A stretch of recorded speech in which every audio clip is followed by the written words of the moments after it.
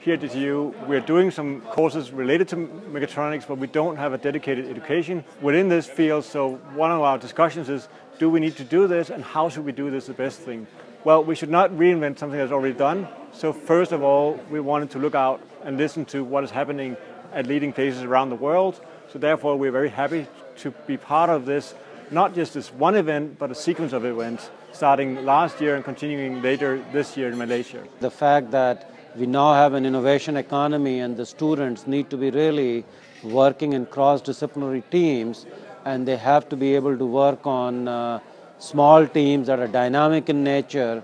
Uh, these are not the changes that affect only the uh, uh education in the US, but I think these are global changes and it is useful for uh, somebody like me working in academia in the US to see how these changes are affecting the uh, educational workplace in uh, Europe, for example. I think we're going the right direction. There are still quite a few challenges that we need to address. There are still quite a few uh, disagreements. But I'm looking forward to the next event, the next conference, the next venue where we can carry on this discussion. Mechatronics is becoming more and more important we see that electronics is getting a natural part of all kind of physical mechanical products. So to combine this is more important than ever. And the reason is that everything will be linked up to the internet and it will make production much easier, more fast, more flexible. I think that's extremely important that you combine the theory with the practice. And also today where speed is uh, important in the industry, I think that too much theoretical uh, thinking really slows down things we need to get the, the practical part of engineering back. And I, I, can hear that a lot of them are alluding to that this is this will be key for mechatronic, and so I think that's that's something that uh, I, as a consumer of engineers, uh, would like to see.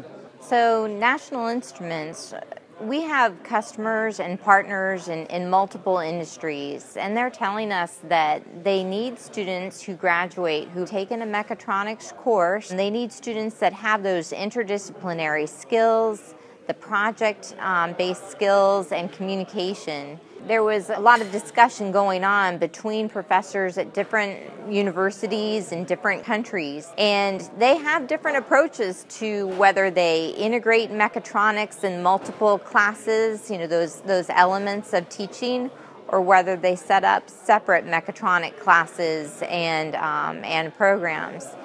Also, in, we saw the importance of the professors discussing how to teach mechatronics. You know, go over the pros and cons of these uh, methodologies and uh, technologies to use them in mechatronics education. I, I saw that as being very uh, useful today.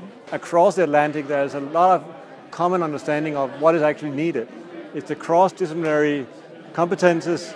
Now the challenge is how do we kind of embed that into our educations? The lessons that uh, we learned is that we are confirmed that we are doing a lot of things right and that some of the issues that we are having and uh, the, the, the, uncertainties that we have of our problem, uh, program uh, also play with our colleagues in the international field. So one thing is absolutely clear, the, the topic of better preparing our students for a career in modern mechatronics is critical to modern industry. Um, it, the, these techniques are engaged in so many important things that, that surround our lives. Um, and it's really essential for the academic leaders to get together to have a frank and vigorous dialogue and to also get the input from industry. And we had all of that at this meeting.